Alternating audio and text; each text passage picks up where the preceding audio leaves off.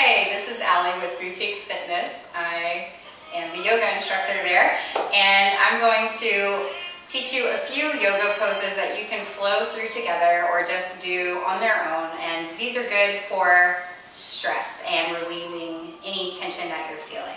So start in a child's pose position. So child's pose, knees can come to the wide edges of your mat. Bring your big toes to touch behind you.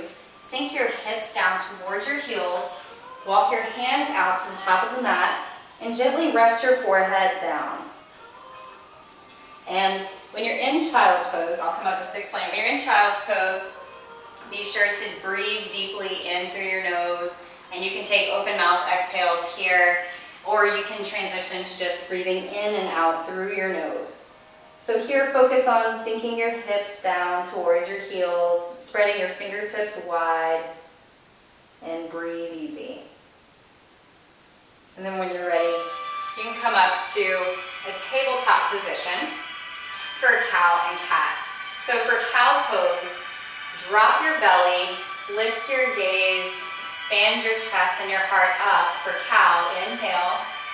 Exhale, cat pose. Round your spine up. Look towards your belly button.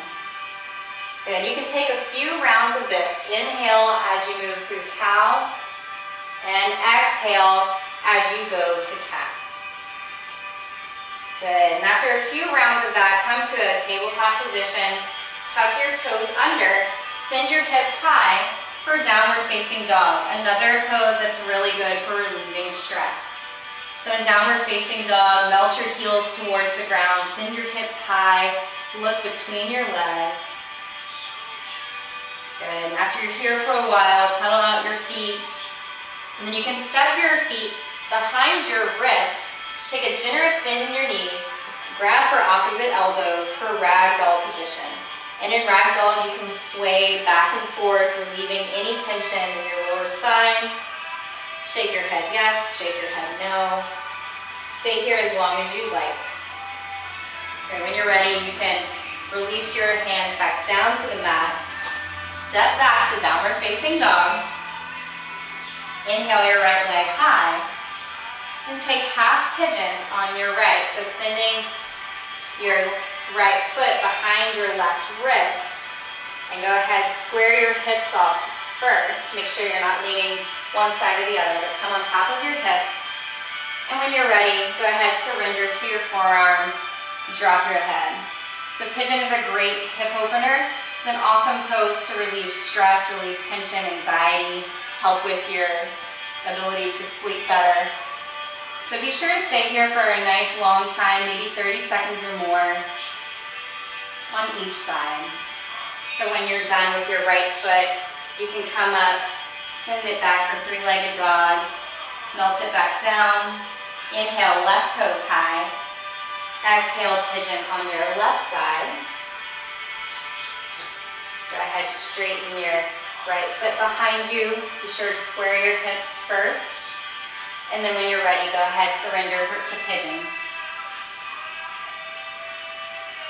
After staying here for a while, opening up your hips, releasing tension, anxiety, go ahead, just like on the right side, tuck your toe, send your left leg up, and back down to downward facing dog.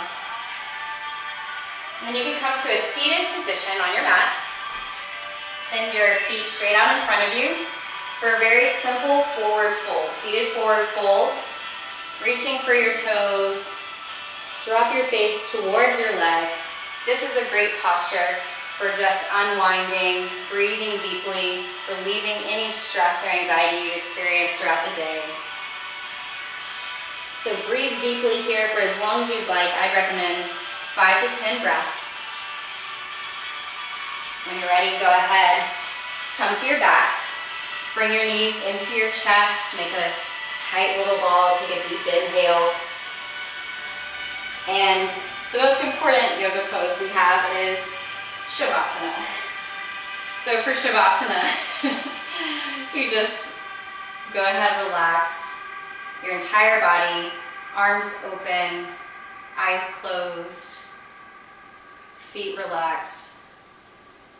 And you want to stay in Shavasana for three to five minutes, maybe even more. It's a pose that might seem like it doesn't do anything, but it's actually an amazing pose for relaxing at the end of a yoga practice or just any time that you need to be intentional about slowing down and breathing.